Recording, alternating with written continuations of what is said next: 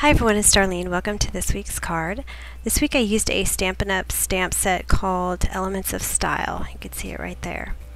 Um, I took the flower uh, stamp from this set and I inked it up with some Elegant Eggplant. And I stamped it onto uh, some, actually I used Nina. Now that I think about it, I probably should have used Stampin' Up! because I have Stampin' Up! ink here. Um, but anyway, so I stamped it in Elegant Eggplant and then I'm measuring 5 eighths of an inch twice on each side. And that's because I want to be able to line up some masking tape. So I just put two post-its together here and I'm just uh, putting it right across the paper under those two uh, little marks that I made. I am taking some bundled Sage Distress ink in my ink applicator and I'm going to apply the ink heavily around the edges and then I'm going to get lighter as I move toward the flowers and I'm just going to stop right before I get to the flowers. And I'm taking my time with this because um, first of all it's a small area and um, I just don't want to get any of those square block um, forms from my ink applicator. So as long as you move really slowly, you use just a little tiny bit of ink, ink at a time and you put very, very little pressure on your applicator. It goes slowly, but eventually you'll get it done and it'll look really nice. Alright, the next thing I did was I took some masking tape. This is Eclipse masking tape. And it's just some old tape that I used on some other projects. And I'm just cutting it up into pieces and I'm covering up my flowers so I don't get any of the, the next stamp that I'm going to use on it. This is the En Francais stamp from Stampin' Up! Again, it's a background stamp. It's really pretty. It's got this cursive writing on it. And I'm inking it up with Bundled Sage again and that's so I get a, a, tone on tone and I you can see I took a baby wipe and I just kind of randomly wiped a little bit of the ink off before I applied it. And then I'm going to do the same thing to the other side. So I'm going to ink it up and then use my baby wipe. Oh I forgot to put my masking tape down. And it doesn't have to be exact I'm just generally covering up the flowers and then stamping it down. And now I'm going to remove all this masking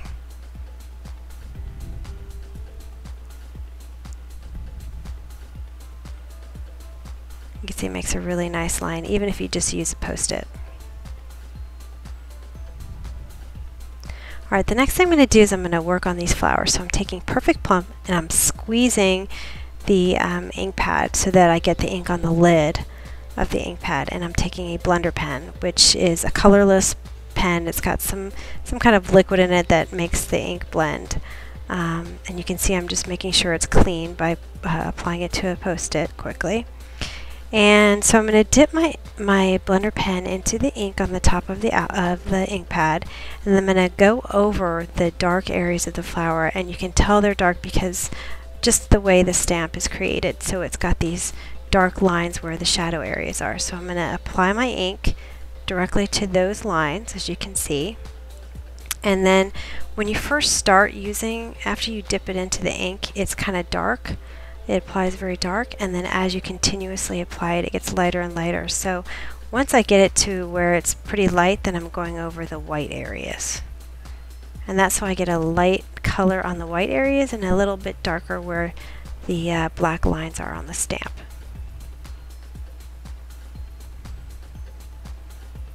So you, as you can see it's pretty dark right there. And it's too dark still. Now it's uh, good enough to cover that white area so I want the, the white areas to be pretty light. And Perfect Plum is just a shade lighter uh, purple than Elegant Eggplant. So that's why I use that color. So I'm going to show you one more flower here. I'm just preserving the shadow areas.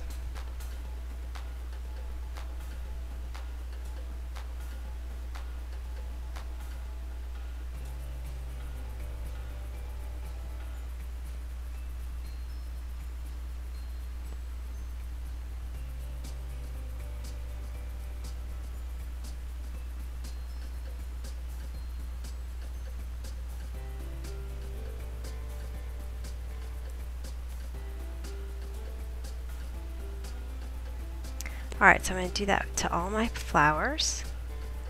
I skipped through all of that because it's the same technique.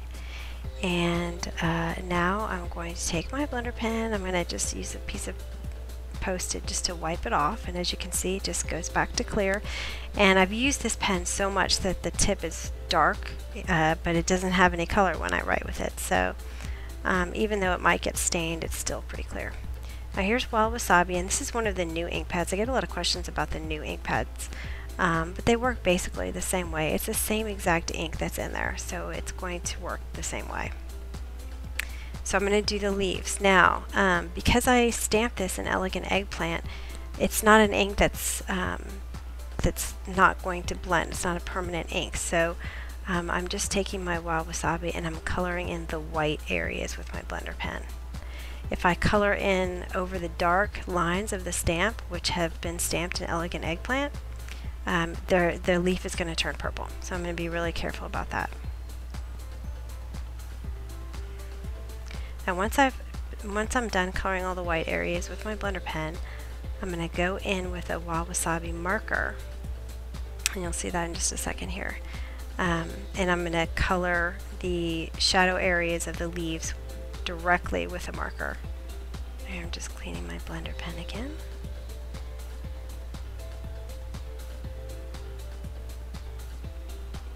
And here's my marker, and I'm going to use the brush tip. There's two tips to this pen.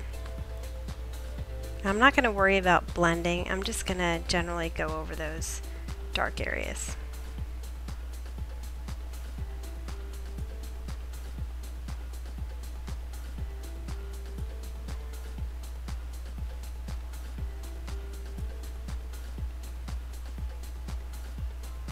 I'm to speed this up.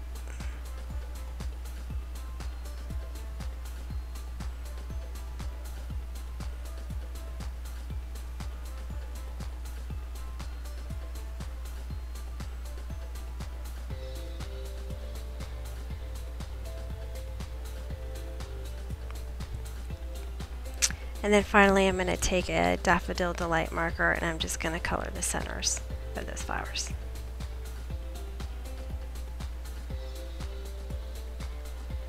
Alright, now I'm going to work on my sentiment and this is the uh, everyday sayings which I use for almost all my cards I feel like. Um, and I'm using VersaFine ink because it works great with clear stamps.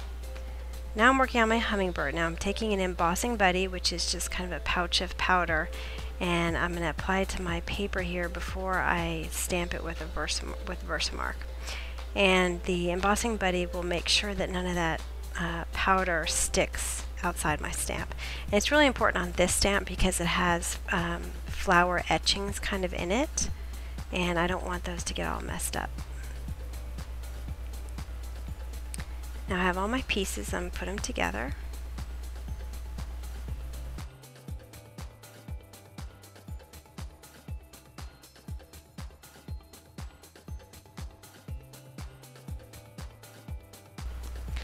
Now here I am um, ruining my card because uh, you could see like one one hundredth of an inch of the white paper underneath. So I just ripped it off and, and redid it and it came out okay luckily. I used some black Stampin' Up! paper uh, and that's why it was really thick and it didn't rip toward the front surface. Anyway, so then I used a dimensional to pop up my hummingbird. And that's it. I hope you enjoyed it and I will see you next week. Thanks for watching.